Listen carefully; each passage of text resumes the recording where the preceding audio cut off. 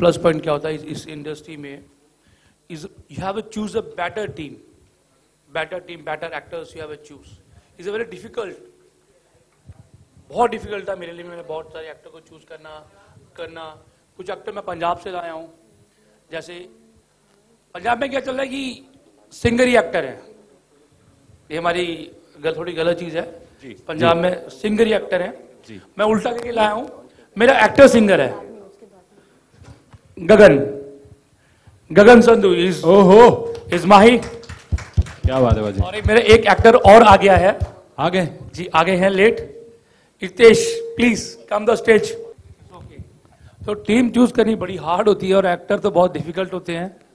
तो एक्टर को जो आपकी स्क्रिप्ट समझ सके और आपका जो विजुअल समझ सके बहुत डिफ़िकल्ट होता है। जैसे आनंद के लिए आनंद के लिए मैंने एक छः महीने मेहनत की। उसको अभी तक समझ में नहीं आया। ये हमारे जो डायरेक्टर है ना एक पहले संजय खान साहब जी थे एक डायरेक्टर हाँ। जो मतलब मूड से काम करते थे। इंडस्ट्री में जितने भी मीडिया वाले हैं सबको मालूम होगा कि वो किस मूड से काम करते थे। मतलब जो चीज़ करनी है करनी है। हम लोगों ने यूरोप में शूट किया था। इन्होंने तीन दिन हमारे पास प्राइवेट एयरपोर्ट था जिसमें तीस एटलीस्ट हम लोगों ने प्राइवेट प्लेन्स रखे हुए थे। दो दिन का शूट था एक शॉट के लिए तीसरे दिन फिर इन्होंने किया। मतलब जो चाहिए जो चाहिए तो चाहिए। मतलब उसमें कोई भी कॉम्प्रोमाइज नहीं है। सो so, इनके साथ काम करने में मज़ा आता है। Okay so spent in Hungary below the line and above the line. Uh, and this 30% can go up to 37.5% uh, based on the Hungarian spend. I mean, in case you uh, uh, shoot part of your films in Hungary and part of your films abroad, even some part of your uh, uh, costs spent abroad also qualifies for Hungarian rebate. So that, that's why the, the final amount on Hungarian spend can go up to 37.5%, which is pretty rare, I am sure, in the world. As, uh, I mean, it is unparalleled in Europe for sure. I mean, this is one of the incentives, a very important incentive. Casting का एक मैं कम से कम छः महीने से लगा हूँ casting के लिए दोनों फ़िल्म के लिए तो बहुत टफ और बहुत सारे एक्टर्स से कल हो गया है 90 परसेंट मैं ट्वेंटी एट को शूट कर रहा हूँ बॉम्बे में यहाँ पे मेरा आज मकसद यही था कि मैं कास्ट लॉन्च नहीं करना चाहता था बिल्कुल भी आज मैं क्योंकि कुछ अगर सारा कुछ आज ही कर दूँगा तो फिर ट्वेंटी एट को क्या करूँगा जाने से पहले क्या करूँगा?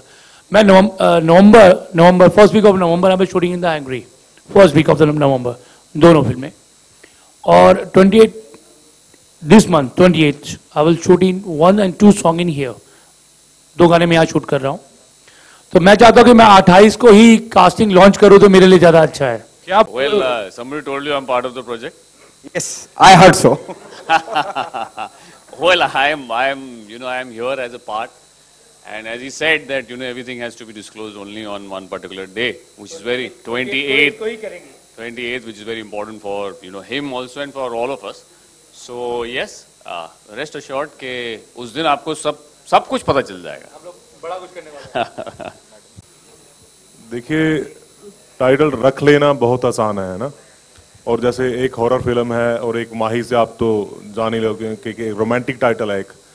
इसके लिए जो स्टार कास्टिंग है वो चूज़ करनी मेरे हिसाब से तो बहुत ही ज़्यादा मुश्किल है और जहाँ तक ख्याल है विक्रम बाजी की सोच का तो उनकी सोच में यह है कि चाहे आर्टिस्ट नया हो या पुराना हो या उसे बहुत सारा एक्सपीरियंस हो या फ्रेशर हो, लेकिन आर्टिस्ट होना चाहिए। इनकी नज़र है परख करने वाली तो ये बहुत सारा धमाका होने वाला है। दोनों फ़िल्मों में आप बहुत सारे नए चेहरे भी देखोगे और काफ़ी कुछ नई चीज़ें आपको रिवील होंगी।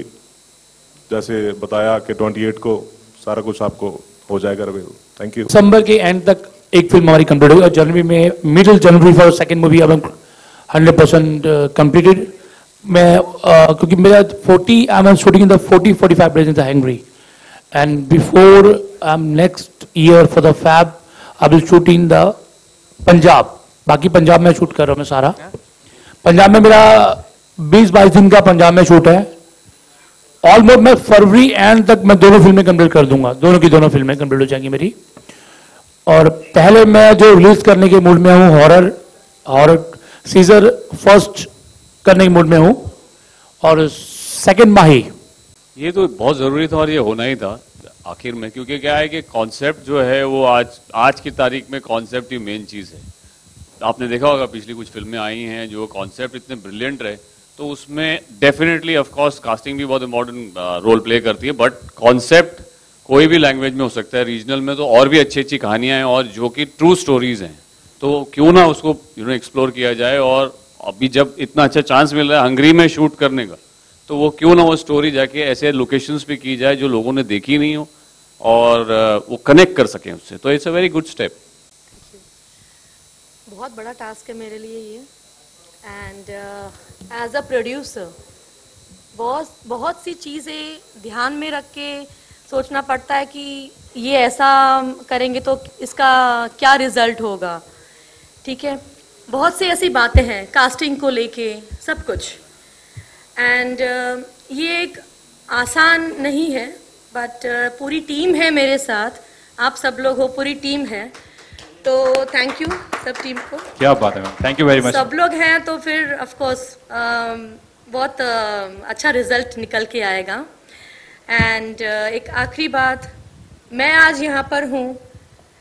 एक बात कही है किसी ने कि behind every man there is a success behind every success man success there is a women but यहाँ पर ऐसा नहीं है मेरे सक्सेस सक्सेस के पीछे मेरे हस्बैंड हैं, ठीक है? आज मैं जो भी हूँ, उनकी वजह से हूँ। बहुत ऐसे बोलते हैं, सोचते हैं कि नहीं लेडी है, नहीं ये, आपको नहीं वर्क करना चाहिए। बट ऐसा नहीं है, सबकी अलग अलग थिंकिंग है। सो आई विश कि uh, आप सबको ये फ़िल्म बहुत पसंद आएगी और बहुत जल्दी हम शूटिंग स्टार्ट करने वाले हैं। क्यों नहीं मैम थैंक एक रोमांटिक से निकल के हॉरर में जाना बहुत डिफिकल्टी मेरे लिए। उसको मेरे लिए आसान नहीं था और मेरे को आसान करने वाला थे mister Amit Khan ji. Is very good writer इनकी बहुत सौ सुपर बुक्स आ चुकी नॉवल आ चुकी हैं। क्योंकि हॉरर के बहुत स्पेशलिस्ट हैं ये हॉरर के। तो इन्होंने मुझे रोमांटिक में मैं खुद खुद गुरु हूँ लोग मुझे लव गुरु कहते हैं। मैं खुद मानता हूँ मैं खुद रोमांटिक हूँ। तो मुझे हॉरर का बहुत खौफ था। पर हॉरर मेरे एक ऐसे दिमाग में बैठेगी कि हॉरर करनी थी मेरे को बहुत और दोनों साथ में करनी थी। और मुझे फुल जो सपोर्ट दी वो अमित खान ने दिए। और दोनों ही कंसेप्ट बहुत डिफरेंट है दोनों बहुत डिफरेंट है। बहुत डिफरेंट है। जी बहुत डिफरेंट